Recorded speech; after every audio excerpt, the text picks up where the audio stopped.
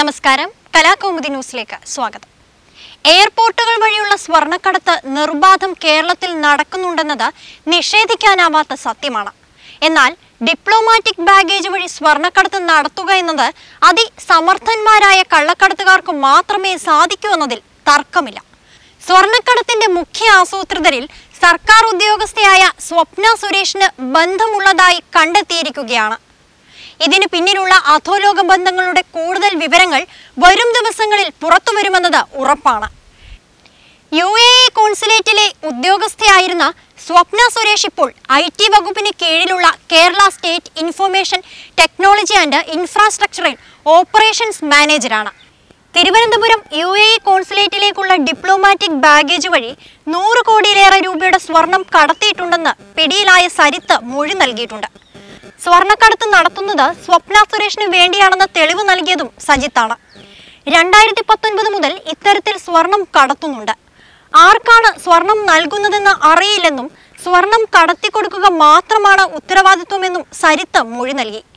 ഇതിനായി പതിനഞ്ച് ലക്ഷം രൂപ വരെ കമ്മീഷനായി വാങ്ങിയിട്ടുണ്ട്. തട്ടിപ്പ് പുറത്തായതിന് പിന്നാലെ സ്വപ്ന ഒളിവിലാണെന്നാണ് കസ്റ്റംസ് ഉദ്യോഗസ്ഥർ വെളിപ്പെടുത്തിയത്. സ്വപ്നയ്ക്കായി തിരച്ചിൽ തുടരുകയാണ്. യു എ ഇ കോൺസുലേറ്റിന് തിരുവനന്തപുരം ഓഫീസിലേക്കുള്ള ഡിപ്ലോമാറ്റിക് ബാഗേജിലാണ് സ്വർണം കടത്തിയത്. ഇതുമായി ബന്ധപ്പെട്ട് യു എ ഇ കോൺസുലേറ്റ് മുൻ പി ആർ ഒ സരിത്തിനെ കസ്റ്റംസ് ചോദ്യം ചെയ്യുന്നുണ്ട്. കൊച്ചിയിൽ നടക്കുന്ന ചോദ്യം ചെയ്യലിനെ തുടർന്ന് സ്വർണക്കടത്തുമായി ബന്ധമുള്ള അഞ്ചു പേരെ കൂടി ഉടൻ അറസ്റ്റ് ചെയ്യുമെന്നാണ് സൂചന. അതേസമയം സ്വർണക്കടത്തിൽ ആരോപണങ്ങളെല്ലാം യു എ ഇ കോൺസുലേറ്റ് നിഷേധിച്ചു. ഈ പൈപ്പുകൾ ഉൾപ്പെടെ ഒന്നും തന്നെ ദുബായിലേക്ക് ഓർഡർ നൽകിയിരുന്നില്ല എന്നും ദുബായിൽ നിന്നും ഭക്ഷണ സാധനങ്ങൾ മാത്രം എത്തിക്കാനാണ് ഓർഡർ നൽകിയിരുന്നതെന്നും കോൺസുലേറ്റ് കസ്റ്റംസിനെ അറിയിച്ചിട്ടുണ്ട്. ഈ കാര്യങ്ങൾക്ക് ചുമതല നൽകിയിരുന്നത് കോൺസുലേറ്റ് മുൻ പി ആർ ഒ സരിത്തിനെയാണ്. സ്വർണമടങ്ങിയ കാർഗോ വിട്ടുകിട്ടാൻ കസ്റ്റംസ് ഉദ്യോഗസ്ഥർക്കുമേൽ സരിത്ത് സമ്മർദ്ദം ചെലുത്തിയിരുന്നു. കാർഗോ തുറന്നാൽ നിയമ നടപടി ഉണ്ടാകുമെന്നും ഇയാൾ ഭീഷണിപ്പെടുത്തിയെന്നും സൂചനയുണ്ട്. ബാഗേജ് പരിശോധിക്കാതെ വിട്ടുകിട്ടാൻ മുഖ്യമന്ത്രിയുടെ ഓഫീസിൽ നിന്നും ഇടപെടൽ നടന്നിട്ടുണ്ടെന്നതാണ് ഞെട്ടിക്കുന്ന വഴിത്തിരിവ്. ബാഗേജ് പിടിച്ചുവെന്ന് അറിഞ്ഞതിന് മണിക്കൂറുകൾക്കുള്ളിൽ മുഖ്യമന്ത്രിയുടെ ഓഫീസിൽ നിന്നും ഫോണിൽ കസ്റ്റംസ് ഓഫീസിൽ വിളിച്ചെന്നാണ് സൂചന. ഇതോടെയാണ് സ്വർണക്കടത്തിൽ ഉന്നതരുടെ ബന്ധം കസ്റ്റംസ് ഉറപ്പാക്കിയത്. ഡിപ്ലോമാറ്റിക് കാർഗോ പരിശോധനയ്ക്ക് ശേഷം ഏറ്റെടുക്കാനും തുറക്കാനുമുള്ള അധികാരം കോൺസുലേറ്റിന് മാത്രമാണ്. അങ്ങനെയിരിക്കെ സ്വർണം ആർക്കു വേണ്ടി എത്തിച്ചു എന്ന സംശയമാണ് അന്വേഷണ ഏജൻസികൾക്ക് മുന്നിലുള്ളത്.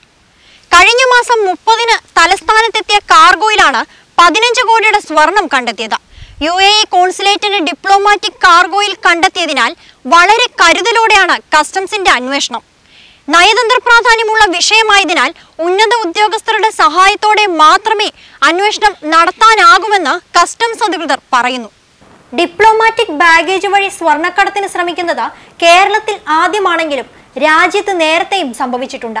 രണ്ടായിരത്തി പതിമൂന്നിൽ ഡൽഹി ഇന്ദിരാഗാന്ധി വിമാനത്താവളത്തിൽ സിംഗപ്പൂരിൽ നിന്നെത്തിയ യു എ ഡിപ്ലോമാറ്റിനെ മുപ്പത്തേഴ് കിലോ സ്വർണാഭരണങ്ങളുമായി പിടികൂടിയിരുന്നു. സിംഗപ്പൂരിൽ നിന്ന് ഡൽഹിയിലേക്ക് വന്ന ഉദ്യോഗസ്ഥൻ വിമാനത്തിൽ കൊണ്ടുവന്ന ബാഗേജിലാണ് സ്വർണാഭരണങ്ങൾ ഉണ്ടായിരുന്നത്. ഒപ്പം വിമാനത്തിൽ യാത്ര ചെയ്ത വ്യവസായിക്ക് വേണ്ടിയായിരുന്നു ഇതെന്ന് കണ്ടെത്തിയതിനെ തുടർന്ന് ഉദ്യോഗസ്ഥനെതിരെ നടപടിയുമുണ്ടായി. എന്താണ് ഡിപ്ലോമാറ്റിക് ബാഗേജ് എന്ന് കൂടി നമുക്ക് പരിശോധിക്കാം.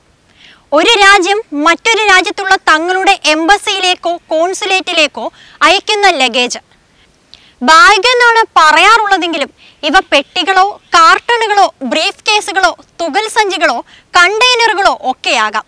നയതന്ത്ര പ്രതിനിധികൾക്കും സ്ഥാപനങ്ങൾക്കും ലഭിക്കുന്ന അവകാശങ്ങൾ ഇത്തരം ഡിപ്ലോമാറ്റിക് ബാഗേജുകൾക്കുമുണ്ട് ഇതിൽ ഡിപ്ലോമാറ്റിക് ബാഗേജ് ആണെന്ന് രേഖപ്പെടുത്തിയിട്ടുമുണ്ടാകും. ഇവ സുരക്ഷാ ഉദ്യോഗസ്ഥർക്ക് പിടിച്ചെടുക്കാനോ പരിശോധിക്കാനോ കഴിയില്ല. എന്നാൽ സംശയമുണ്ടായാൽ കേന്ദ്ര വിദേശകാര്യ മന്ത്രാലയത്തിന്റെ അനുമതിയോടെ പരിശോധിക്കാം. ഇത്തരമൊരു സംഭവം കേരളത്തിൽ ഇതാദ്യമായാണ്. അതുകൊണ്ട് തന്നെ ഈ സ്വർണവേട്ടയ്ക്ക് വലിയ വാർത്താ പ്രാധാന്യവുമുണ്ട്. സ്വർണക്കടത്തിന്റെ ഉന്നത ബന്ധങ്ങൾ തേടി കസ്റ്റംസും റവന്യൂ ഇന്റലിജൻസും വല വിരിച്ചു കഴിഞ്ഞു.